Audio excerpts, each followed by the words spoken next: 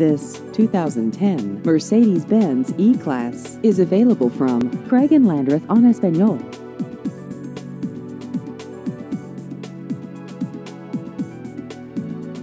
This vehicle has just over 24,000 miles.